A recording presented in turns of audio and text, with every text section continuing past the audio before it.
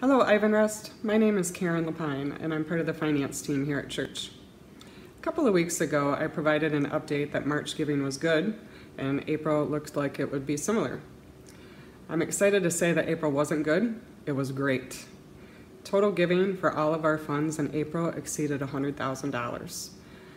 I wish there were words more than thank you to express appreciation for your generous giving to First Fruits, Christian Education Assistance, Outreach, Refresh, Benevolence, and so much more. Thank you. We're now in May, which means it's the last month of our financial year, and I continue to encourage you in your giving.